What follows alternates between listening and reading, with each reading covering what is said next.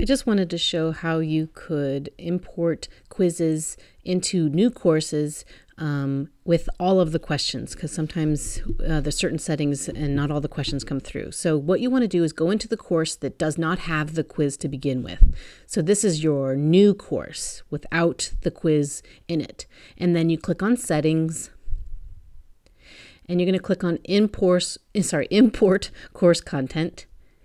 And then you're going to go to the course that has the quiz in it. So you're going to select copy a Canvas course and you're going to find the course that has the content in it. So maybe it's from a previous semester or it's from another course you um, have content in for.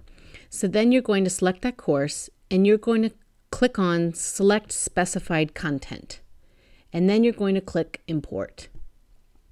When you do that, it's going to say waiting for selection. This is my attempt to show earlier.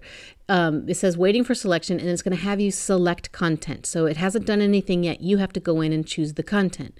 So the first thing you want to do is choose the quiz that you'd like to import over. But this is only going to import the quiz settings and any quiz questions that were in there um, that you had added. However, if you are pulling from a question bank, let's say in your quiz you said select one uh, question of these five, those questions won't be pulled over. Only the ones that you added directly to the quiz will be pulled over. So what you want to do is bring over the question banks as well. So to do that, you will uh, drop down and find the question bank that you were using. Now, um, let's say I know for this exam three, it was only chapters um, 9 to, and 10, then I would select 9 and 10. If you're not sure, you could select all your question banks and then they will all be moved over. Sometimes questions that we've made end up in unfiled. Like if you didn't manually put it into a question bank, it may end up in unfiled. So you might want to select that one to make sure that those questions get pulled over as well. So it's a good idea to organize your questions in the question bank so that's easier to, to bring over.